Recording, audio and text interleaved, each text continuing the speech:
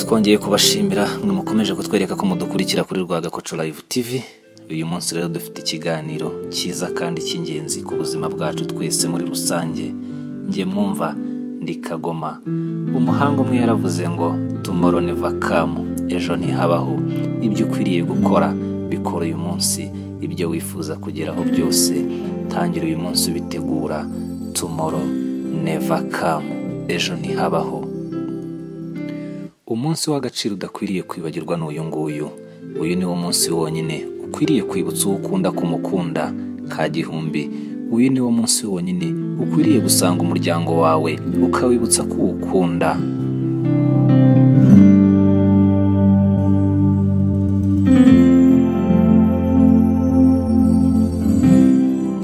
Ikiganiro nimenya nibi mugezwaho buri munsi ku bufatanye na Rwagakoco Live TV icyo usabwa gusa ni ugukora subscribe.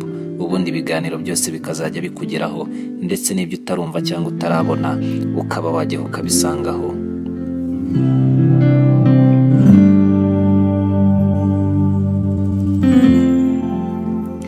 Uyu ni wo munsi wonyine rukumbi. Ukwiye gusanga abavandimwe bawe ukabibutsa kubakunda. Yewe ko icyo mupfana kiruta icyo mupfa. Uyu ni wo munsi ukwiriye gusanga abo wahemukiye ukabasaba imbabazi ndetse ukababwira ko kubana biruta byose.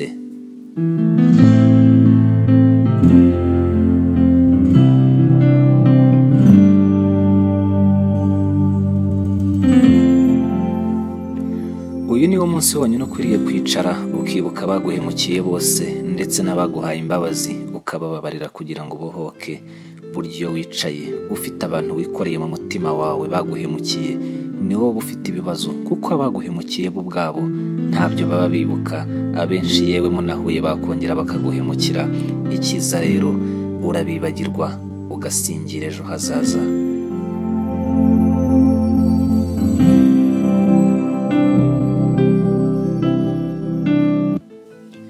Uyu ni wo munsi ukwiriye kwishima mu buzima bwawe ukibuka ko nta gihe ibibazo bizashira ukiri mu isi cyane ko agahinda gashira kandi kageze mu ibagara.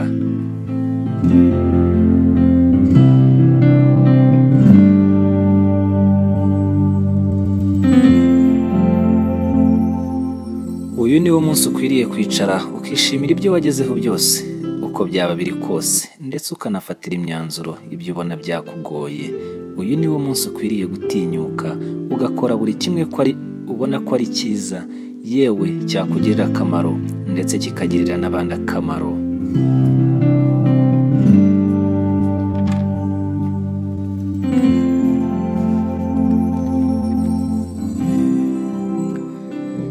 Uyu ni wo munsi wonyine ugomba kwikuramo kuvuga ngo birakorwa n'abantu benshi buri muntu agira umugisha w'inshuti.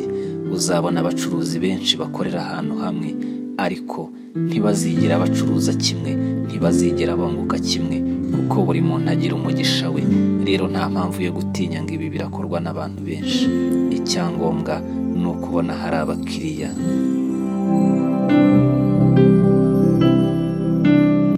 Uyu ni wo munsi ukwiriye kumenya ikigero cyawe ibikugeneye yewe ndetse n'inshingano zawe. Uyu ni wo munsi wonyine ukwiriye kwicaza abo ukunda mukishimana. Yewe ukabibutsa ko ari ab'agaciro kuri wowe nta wundi wabasimbura.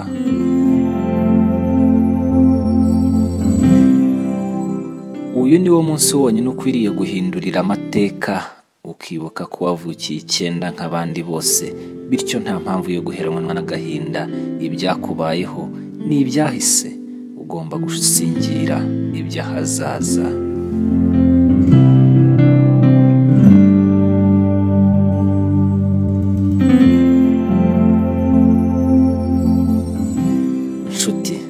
Ahahise hawe ni icyitiriro ariko ahazaza hawe ni ah'umugisha uyu ni wo munsi ukwiriye kwibutsa umugore wawe n'abana bawe umugabo wawe n'abana bawe.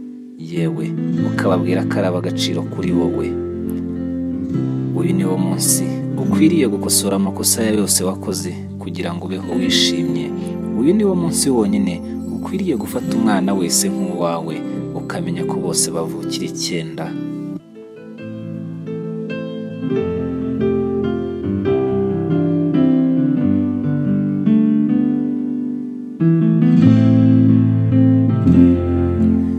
Wo munsi wonyine ukwiriye kumenya ko ibyo ukora uyu munsi ari amateka y'ahazaza uzibukirwaho. Yewe hari benshi bazashaka kukwigiraho bakurebereho. Niyo mpamvu rero kuva uyu munsi ukwiriye kubaka amateka mazima kugira ngo abazagukomokaho abazaza nyuma yawe bazabashe kukwigiraho ibyiza ntibazakumveho ibibi.